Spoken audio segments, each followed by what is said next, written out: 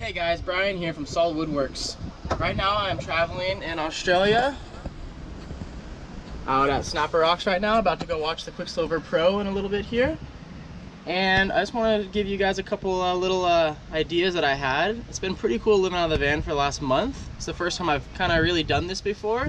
And being a van builder, it has taught me a lot about setups, layouts, all kinds of little things about how I should start building vans a little differently or just a little more in thought and how to make them as functional as you can. So here are a couple quick little things that I have done in my van to make it work a lot more functional and a lot easier. Number one, hooks. I have these little hooks all over the place and they are so handy for hanging as you can see all kinds of good stuff off of.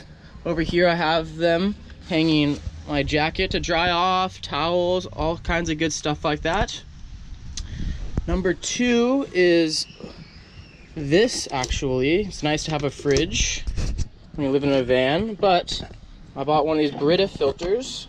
And to be able to go fill up you know my big blue jug here out of a tap. Put the water in the Brita filter, and I have, you know, what I feel like is pretty good purified drinking water, where sometimes out of taps it just seems a little sketchy.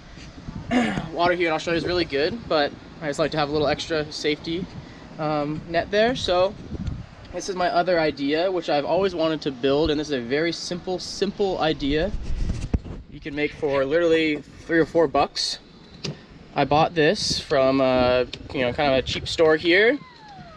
And I, as you can see, put a couple hooks on it. And then I drilled some holes in it.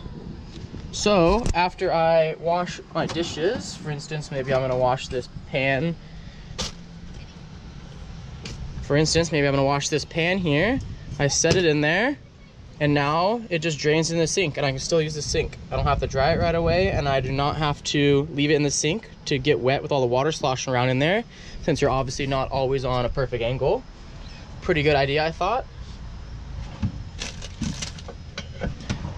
And when this is not on here, there's this little string here and I'll show you what that's for.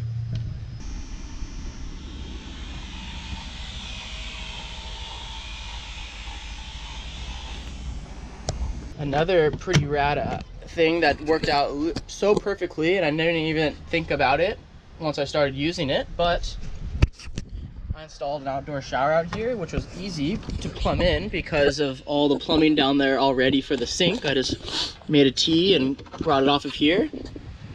But this outdoor shower not obviously works as an outdoor shower, but now it works as a little bit stronger, pressurized little uh, stream of water to uh, wash off my dishes with other than just having this. So something I didn't even try to do, but worked out pretty well. One other pretty cool idea is um, this is the control panel that was already in the van when I bought it. This is my solar controller. It has USBs in it. One thing I bought was this right here and mounted it. So look at, I have my phone, my little fan, all kinds of sweet little things in here charging, which is perfect and out of the way so that people don't really see it when they're walking by. It's not on the dash or anything.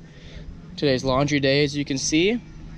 But um, a couple good little ideas that could come useful in your van and has really helped me. So I hope uh, from now on, when I start building vans, I can take some of these things I'm learning while living in a van and uh, put it into some of your guys' dream builds. Thanks for watching and uh, keep following my adventure here in Australia.